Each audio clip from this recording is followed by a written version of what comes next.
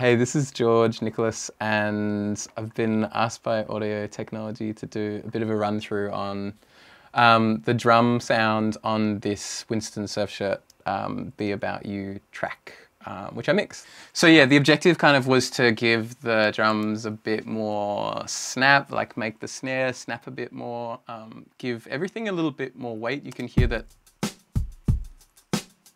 just doesn't it just doesn't hit hard enough for the rest of the song. Um, so yeah, adding lower mid energy to the snare drum um, and kind of taking away lower mid energy from the kick drum, really.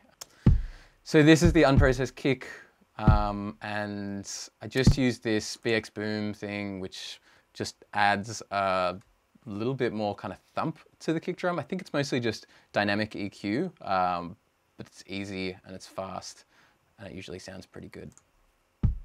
Like, job done. Um, then using a gate to just get rid of some of the um, later energy of the kick drum. Um, it just kind of carries on a little bit too long and I'm doing some compression later on I think so um, just getting rid of, just attenuating some of the later part of the kick meant that it just didn't sort of rumble around for too long in the track binaural pan, which is just like Studio One's um, like width control, just pulling down some of the information on the sides um, to make it a little bit more centered and full in the middle. And then this EQ, which is doing very little, just boosting at 5K. So that's the lower portion of the kick drum, the kind of more subby one. And then there's this secondary one, which is just giving it a bit of sort of uh, punch, I guess, and a little bit of character in the tops, but it's not as loud, it's not as important either. But yeah, so just using this to sort of bring out some more harmonics, and then, you know, this, which is again, just getting rid of some of those lower mids, which were just making it a little bit kind of pokey. Um, all right, and then that's the, both these are going into a bus, a, drum, a kick drum bus.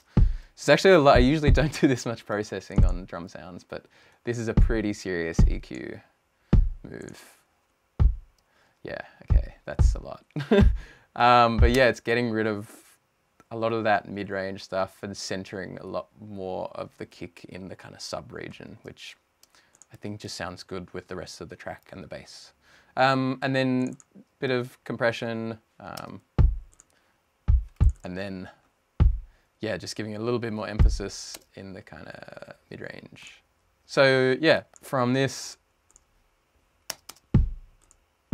to this. Pretty drastic change, but all right, let's look at the snare drum now. Um, snare is pretty simple, pretty serious EQ again, just adding like emphasis to the like fundamental of the snare, which was around here. So that's probably the most important one. Just giving it a bit of tone and giving it a bit of weight um, and giving it a bit more kind of crack in the high frequencies. Then using this like decapitator again, just to saturate it. I love that plugin. This Kramer tape thing is amazing as well. It's a really good, um, yeah, tape saturation plugin. But I often use it for sort of more like a compressor um, because it sort of always dulls the transients. So it takes away a lot of the snap, um, but it does so in a really nice kind of musical way. This, which is just giving it loads more low end at 100 hertz, that seems really low, but um, seemed necessary. Um, and then getting rid of some of the, the high frequency snap up here. The high frequency, like, just all that stuff which I don't think was necessary.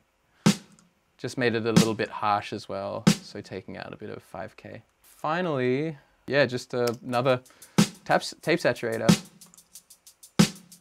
Um, I'm not putting the kick drums through the um, through this drum bus um, just because it would just destroy the the kick drum. It just it's this is this can do really awful things to your to your low end. It can do really great things to your low end, but it can really destroy the shape of your your um, your drum sounds if you push it too hard. So so this is what we started out with the, the drums at the start, which